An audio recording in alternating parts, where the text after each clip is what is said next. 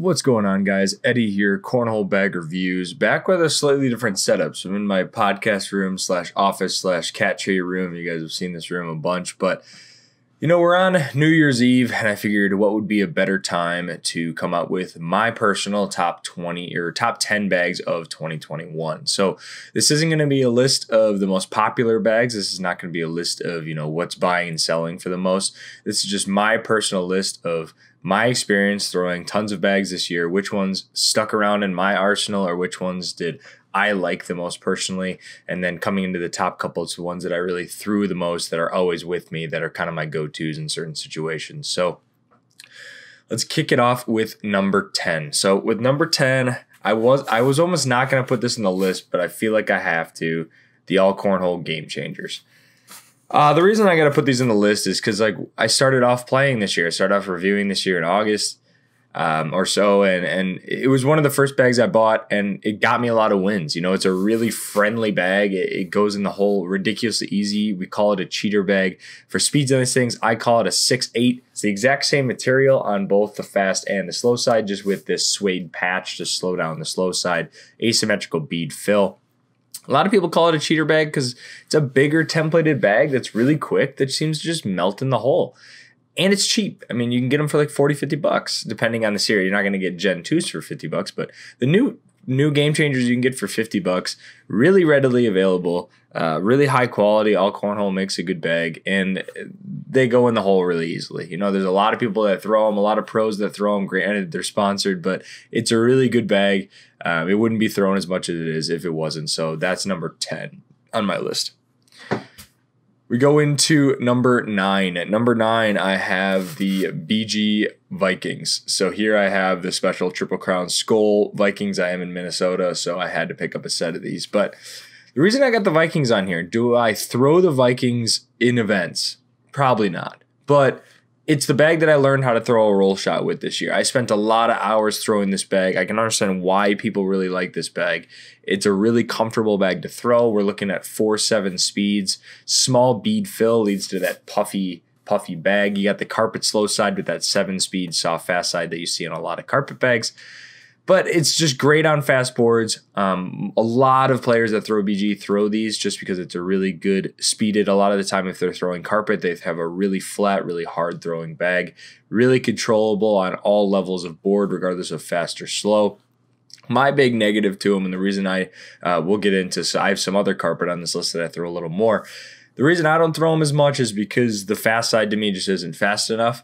Uh, I find that I can roll the fast side just as sometimes when it gets sticky, as easy as I can roll the slow side. So I like personally a faster push side, but that's just my personal opinion. But um, I have to be in the top 10 just because of how much I've thrown them and how, you know, I learned how to roll a bag with it. And I think it's a really popular carpet bag for a reason. Number eight, we get into a bag. I released a review on these recently. Not many people know about them, but you really should. Minnesota Tailgate Omegas. Um, uh, it's a really nice bag, a locally made here. Uh, many of the locals throw it. So again, it was one of the first bags that I picked up because it was so inexpensive and so everyone kind of sweared by it around me. I was like, all right, I got to try this. We're looking at like a four eight speeded uh, bag here, small disc fill really nice hand feel. She got like a polyester, like nylon weave slow side, uh, a little bit slower than a Surefire, but still plays super hole friendly with that Surefire game changer fast side, same fast side material. Um, I find it is a really hole friendly four. It's really controllable and super forgiving, where like it doesn't really kick a lot on you. And the big thing about this, it's ACL comp stamped for fifty dollars.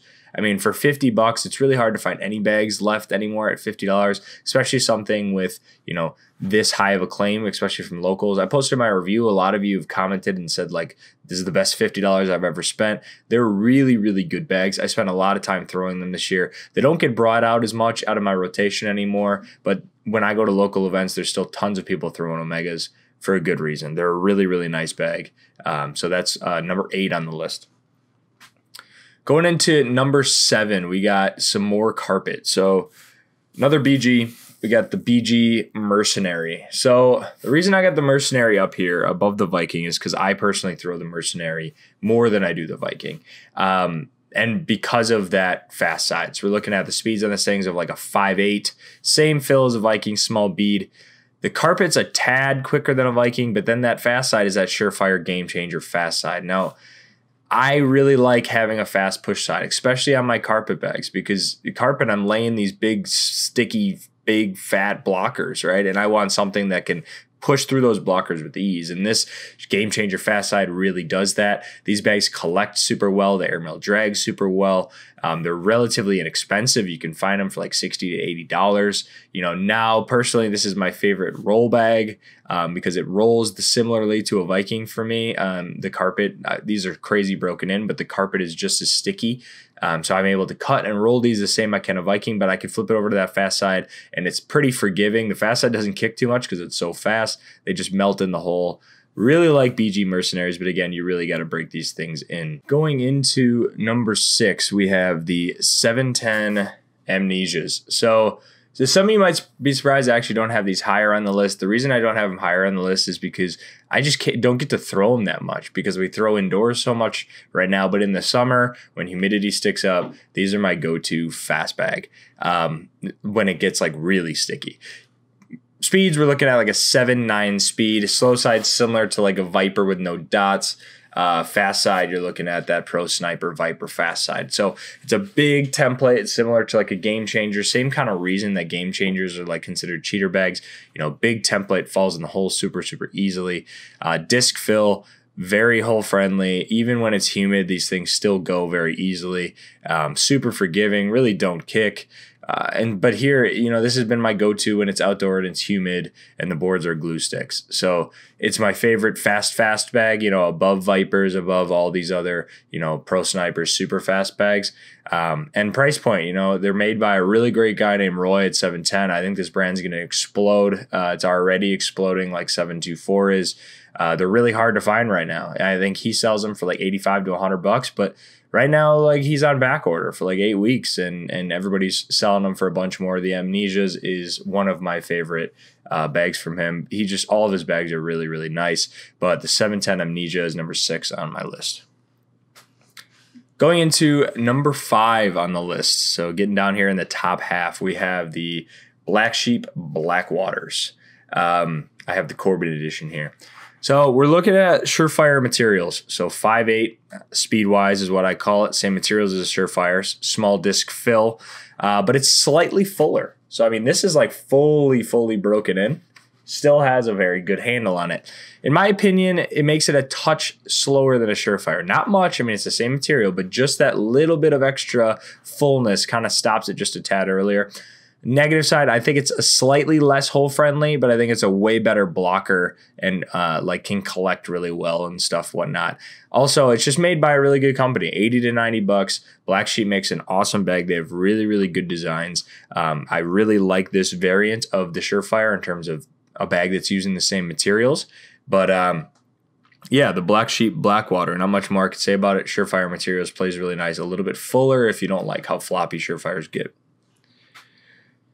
Getting into number four here. So, number four, this is my favorite carpet bag of the year the Crazy 8 Dominator. Rocking the hat, Crazy 8 Crazies. Another brand that has a really big following, really not culty following, but a lot of people believe in these bags. He's released the Annihilators now, uh, which I like that bag too, just happened to not make it on my list. But the Dominator really good carpet bag. I mean, really fun to throw. It's what I break out if I just feel like throwing carpet. It's a five nine speeded carpet. You got that, you know, five very similar to like a mercenary tangos carpet with a nine speed, you know, Viper, Pro Sniper, and Tango. Very similar to a Tango in terms of the makeup of this bag. But you're looking at kind of like an asymmetrical bead fill. It's slightly less puffy than a BG, but still plenty puffy. Um, it's a little wider than a BG, so a little bit of a bigger template. I think that makes it a little bit more forgiving. These things, don't get me wrong, they cut and roll with uh, with ease. I mean, if you know how to cut and roll, but they're a little bit more friendly in my opinion and they just melt in the hole. You get these things close they just they're just slinking in and this fast side this viper fast side i would say when you're breaking these in it takes a little while to get this side relaxed but once you do i mean the collects you can do with this thing the air airmail drags you can do these things they're big bags that just don't play like big bags when they get close to the hole. They don't hang up too much on me now that they're fully broken in uh, it's just really, really nice to throw. I, I, really enjoy throwing this carpet bag, and and I think from him they're around like eighty eight bucks shipped, so good price point. They're not pro stamped, But I mean, obviously they don't have to be stamped to make it on my list because I don't throw pro stamped all the time. I got 710 on here and Crazy 8 on here that aren't pro stamped, and uh, they're some of my favorite bags. So Crazy 8 Dominator, number four on the list. If we get into number three here, I got another 710 bag. And this is a fairly new one in my arsenal, the 710 Enigma. I haven't had my hands on these things for too long, and I'll tell you what, I don't need to. like that's how good they are. Uh, material wise, we're looking at a six not six on the slow, which is the same as a Pro Sniper Costello material, and a nine on the fast, same as a Pro Sniper Viper. So it is the same exact material combination as a Pro Sniper, but fuller right? So this is pretty broken in. They're a little fuller. Really nice disc fill and be, it's because of the fullness is the reason that I like it so much because it slows it down just a tick. So I've been having an issue the last you know couple months where I throw you know like a surefire variant when the boards are fast, and then I'm throwing Costellos when the boards are like slow. But the transition period, Costellos are too fast, surefires are too slow. So these are kind of filling that void. They're a controllable fast bag, controllable, like hole friendly. I could still throw blockers with it. I could still push really well. The designs are insane. Roy with 710 killed my custom design with my new logo, so I might be biased because I love throwing the design so much, but I really, really enjoyed this Enigma bag. Um, I think it's one of his best, if not his best bag. It's my personal favorite that I've thrown so far. Um, you know, again, it really, really hard to find right now, but a cheaper price point, not stamped, but it, it's going to be like 724, guys. This brand is just exploding. They feel great. Uh, I really, really like throwing the Enigmas. So, that's going to make it the top three on my list. That's how much I like those Enigmas. The last two bags, I bet you guys could have guessed what I'm going to put in here. Maybe you wouldn't have guessed the order, and I'll explain why the order is the way that it is. But number two on the list, Black Sheep Costellos, tried and true. Um, the reason I got these at number two on the list is just because lately, in the last, you know, when I'm indoors. They're just too quick. I don't get to throw them as much. Um, and and I felt like the number one bag really needed to be the bag that I'm throwing more often than I'm throwing any other bag. But a little bit on the six eight speed, Pro Sniper slow side, Enigma slow side, Game Changer fast side, Surefire fast side, right? Disc fill. It's probably my most used bag of the year in slower conditions. Uh, if the if if you know surefire variants are too sticky, I was throwing Costellos all year. Especially my orange ones. My orange ones are so ridiculously broken in that it's like they're unbelievably hole friendly. And if I'm playing with a newer player that maybe doesn't have a flat bag, they like faster bags, we just throw Costellos because they're forgiving. They don't really kick too much. You get them near the hole, they go in. Uh, almost everyone. I I mean the amount of people that I've gotten to throw Costellos around this area now um, just it, it, the bag is just blowing up for a really good reason. It's really easy to throw if you like faster bags. Doesn't require a lot out of you to shoot really well with it, and it's a good price point. You know, ninety bucks shipped off their website. I think a lot of people are selling them for between seventy and ninety bucks on the Facebook pages. Uh, it's a it's a well priced bag, ACL Pro stamped, really friendly, really beginner friendly. Uh, I just really overall like the feel of the bag. Not too fat, not too thin, not too floppy. Makes a good handhold. You guys know I love my Costellos. Costellos are going to come in at number two. And number one for the year, there's a lot of reasons why this is number one, but Lucky Bags, Surefire. Now I know there's a, and caveat here 2020, 2021 Surefires, not the new ones. And I'll get into that. So, 5 8 speeds, same as Blackwater, same as all these other ones. Disc fill. The reason I say the 2020, 2021 is I've bought a lot of the 2021 ones recently this year um, to try out because there's a lot of cool custom designs and some other ones.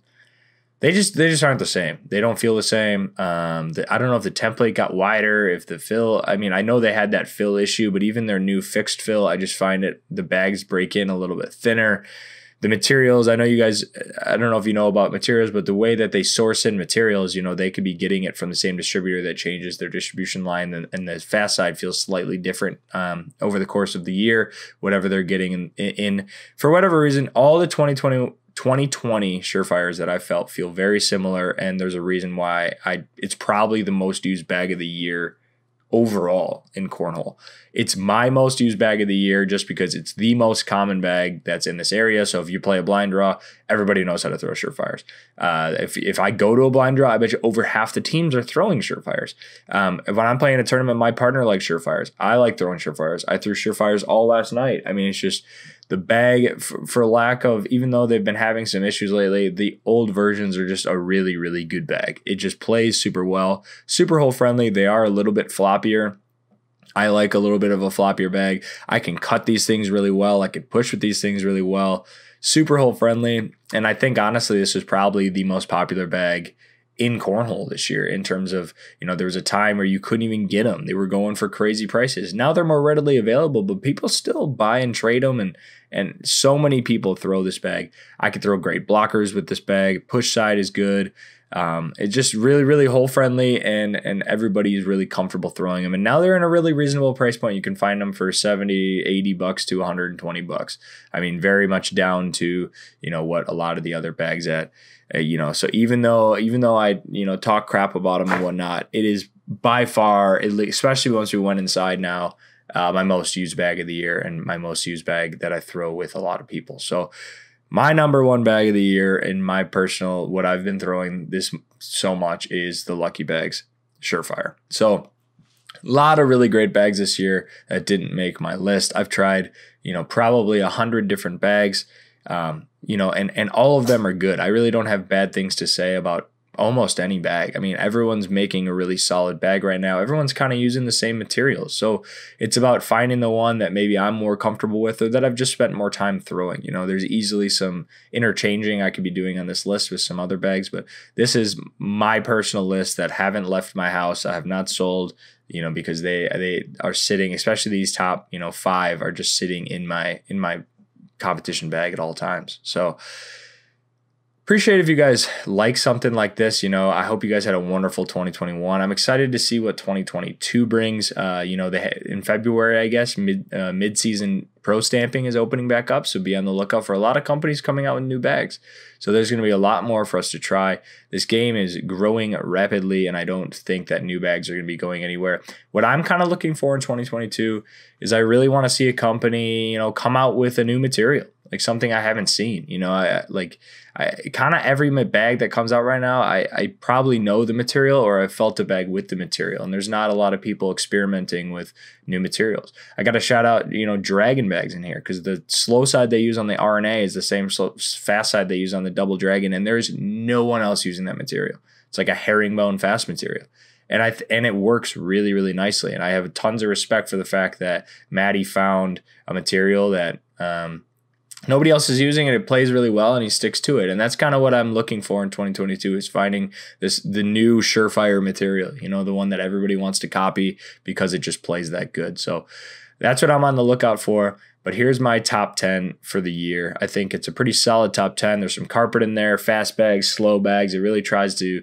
comprehend all the different kinds of bags that I'm throwing this year and, and what I've kind of had the most success with personally, even if I don't throw them as much anymore. But this is a culmination of the last four or five months of me playing. So, you know, if you guys like this kind of stuff, uh, you know, let me know in the con- comments below. I like doing some kind of recaps, but hope you guys have a wonderful new year. And uh, hopefully, we got a lot more stuff coming in 2022. So, appreciate you stopping by. Love you guys, and uh, we'll catch you in the next one.